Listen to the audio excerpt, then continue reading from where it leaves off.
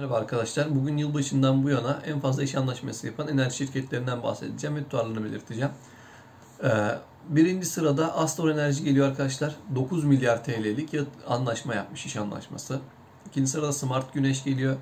Ee, 8.43 milyarlık anlaşma yapmış. Üçüncü sırada Girişim Elektronik yani GESAN 8.28 milyarlık anlaşması var. Dördüncü sırada Yao Teknoloji 4.89 milyar. 5. sırada Gersan Elektrik 4.08 milyar. 6. sırada Birleşim Mühendislik 3.53 milyar TL. 7. sırada Alfa Solar Enerji 3.51 milyar TL. 8. sırada Europower 3.26 milyar TL.